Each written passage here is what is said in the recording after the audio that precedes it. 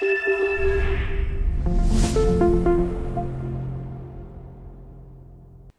everyone, Nick here, and today I want to quickly show you how the integration of Databricks AI BI Genie into Azure AI Foundry allows our customers to directly experience data intelligence within Foundry agents.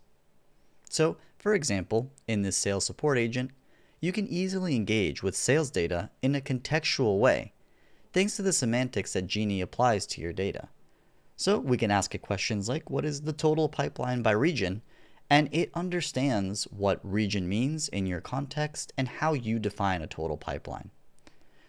We can then further explore our data using just natural language. So we can dive into who the top sales rep by pipeline might be, and then start dissecting our data and really understanding the picture and the signal behind it. So in this case, we can ask it, how many opportunities were won and lost in a fiscal year? Or what is the probability of us churning a specific region? You can see it'll even give us back nice visualizations that we can use to better understand our data. Now, the reason this is possible is through the AI Foundry, and setting it up is super easy.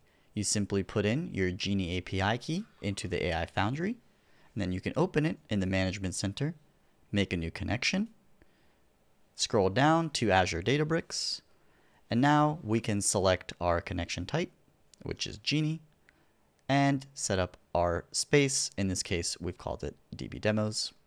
And thanks to seamless SSO integration, users can authenticate using their existing Entra ID from Teams to access Foundry and Genie, while Unity Catalog handles all the data governance, and Databricks Automatic Identity Management eliminates the need for any manual user imports. Now we can just simply add this connection, and we are hooked in from the Genie side. Now, if we go take a look at how we actually set the Genie side up, you'll see that we've simply created an Ask Genie function. We've kind of given it some comments, some hints, and we've defined some functions that allow it to use this API connection within AI Foundry. Now going back into AI Foundry, we can simply go into agents, we can define a new agent, we can bring in our Genie space, we can give it a name, we can give it some instructions so that we have a better idea of what it does, and a description.